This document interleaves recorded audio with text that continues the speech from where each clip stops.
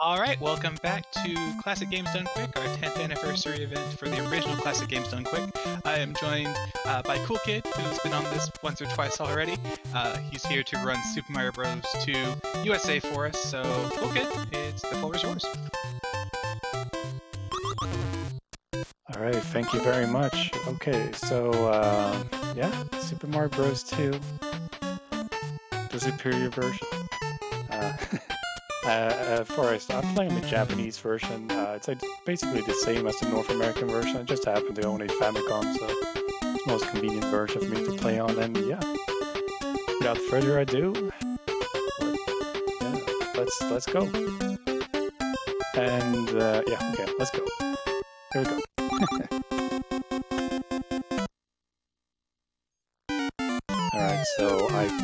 Starting off 1-1 picking Toad, and he's the character I'll be using for most of the run. Okay, I'm going to attempt something that's quite difficult. Okay, I got the first part. Uh, that power grab is uh, coming out of the door is frame perfect. Let's do it. Set up a glitch, see if I get it.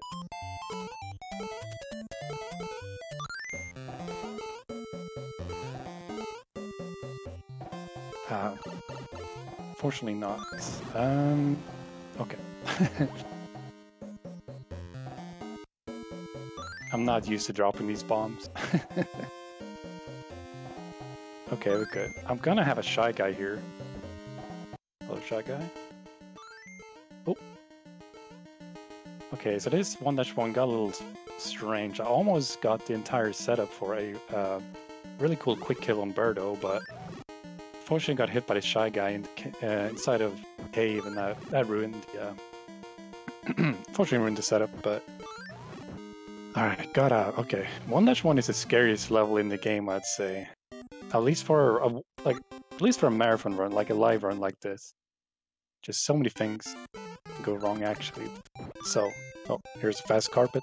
So the reason I'm playing Toad right now is that he is the fastest moving character in the game. Uh, he moves Oh, so that's frame perfect uh, grab again. There's so many tricks in this game, it's hard to uh, sort of explain what's going on, but um, you're not supposed to bring a veggie into that boss fight, which I just did. So that's cool. But anyway, uh, I play Toad because uh, he runs faster whenever he's carrying a heavy object like an enemy. Cool little grab there. So I'm playing... So this is the 100% run with warps. Uh, I'll be going using the going for the first warp in uh, this level. Double jump. Um, I didn't. Okay. uh, that's unfortunate. Okay, let's try again without uh, putting the potion on the corner. Uh, I I need to enter that door. Uh, all right, try more moderate approach this time. There we go. Made it. Warp. World 4. Alright, um... Why?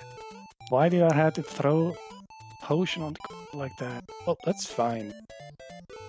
Uh, it didn't. It didn't end up costing me much time. A, the only thing I'm sort of scared of is game overing because it's it's a pretty. It's very easy to die in this game and if you get if you die you have to it's not that bad but you have to replay start back from first uh, level the world you're in. Already down one life. All right as long as i get through this without game over i'll be pretty happy. But anyway world 4 is very straightforward 4-1 run to the end there's not a warp in 4-2 But yeah, so Andrew's run from classic games done quick is I believe actually one of my favorite it has one of my favorite moments or GDQ moments ever. I definitely recommend uh, you all to watch his run, or at least watch the very end of his run, because something very amazing happens uh, right at the end of, of his run, Wart Fight. And I believe that might have been the first uh, that has never happened before moment recorded in GDQ history. Not sure, but it might just might just be the first. So okay, so I just worked from 4-2, 6-1. Here's where the game gets pretty tough. This first gonna 6-1 features a lot of tight jumps. Oops. It's possible to do this no stop without stopping at all, but small toad. kind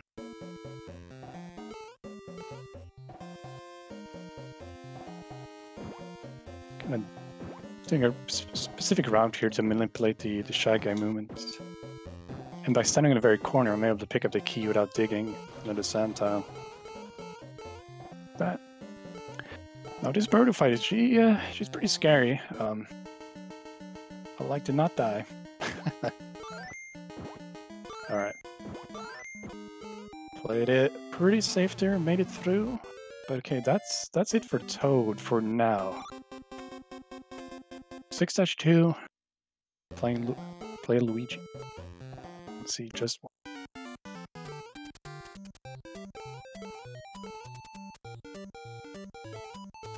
So you can double jump in this game. I didn't really explain double jumping, but Luigi is master at double jumping.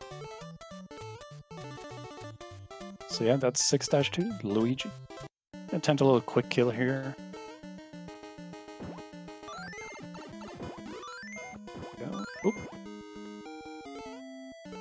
The movement to Luigi is pretty is pretty tricky.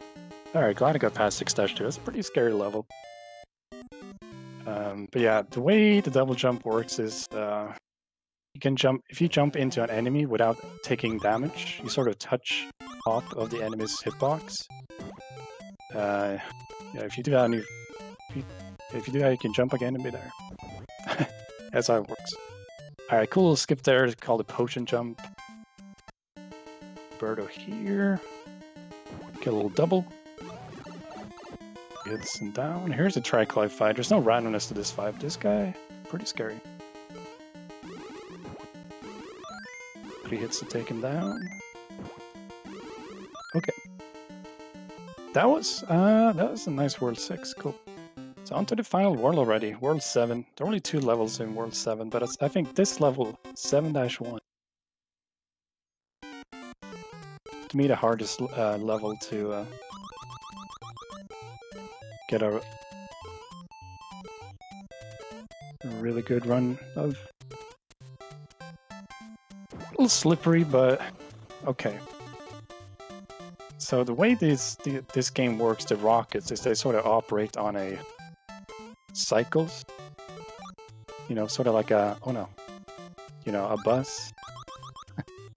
now, but those rockets would only blast off every about every second.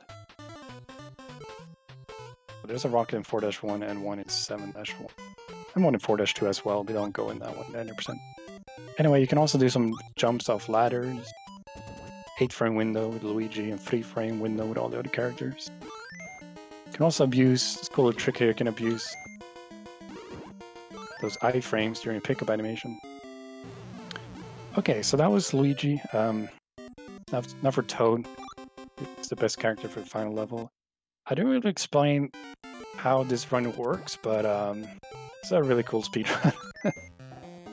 I picked up this speed run uh, last year, and it's it's turned into one of my favorite speed games. Both this run with warps and the uh, the warpless run, uh, two runs I really like. And if they're in it, oh, okay. Let's see if I make it. I, I might be good. Um, but anyway, Oh yeah, so this this uh, actually pretty much everything in this game operates on cycles. Oh, that was close.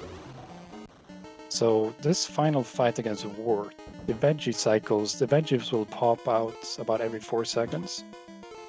So my objective here is to make sure I get to the, the end fast enough to catch the earliest veggie cycle. I think I made it. Uh, I made it, but I was a little too slow I got the veggie, but not able to hit it. But I have a chance to go for the G glitch now. If I, if I so uh, there's no I'm gonna get it. Oh, I missed. I missed. But anyways, I yeah, there's yeah something really funny to happen to Andrew G when he was doing this run back in the day. All right, so this fight is sort of sort of don't have this under control right now. Oh, can I get it? Ah, didn't get it. Did not get it. Sorry to G. Sorry, Andrew. Anyways, uh, time is when I enter the door. And that is Super Mario Bros. 2. Cool little run, really fun speed game. Yeah, thanks for watching, thanks for having me. Where did I died? Uh, oh yeah, one dash three. I put the potion on this side. Oh, that's fine. Wait, what's the time by the way? Uh, 10-ish minutes. Uh, the timer did a couple things, so it was it was just underestimate, despite what the timer said. Okay, okay, cool. Well, thank you. Thanks for having me. Thanks so much for uh, for being on. Uh, we are going to take it to a quick break before we get on to uh, Super Mario Brothers 3. It's going to be a race, actually. Uh, you'll see the runners when we get back, so hang tight.